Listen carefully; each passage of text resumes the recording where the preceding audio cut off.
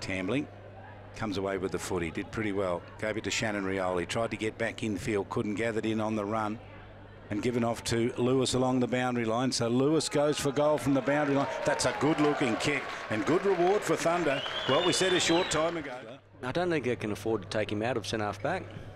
Here's Lewis with a snap. Oh, touch right on the line. Did well, Lewis, to get it away. He's a bit of an X factor tonight, isn't he? He is. Position there from Derricks.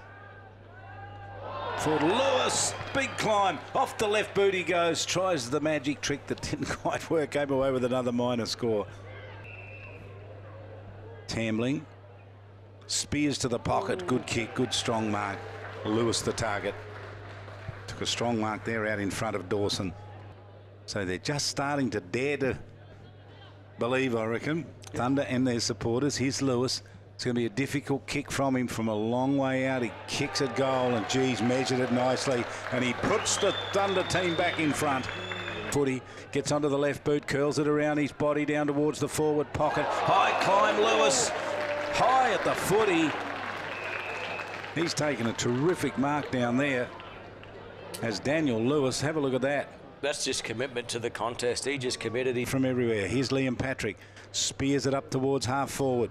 Big climb at the back. Lewis again takes a beauty hand. He didn't this time. There's the grab. Great. And the Sydney Swans, just the two losses this season, sit on top of the table. Came off hands from Lewis.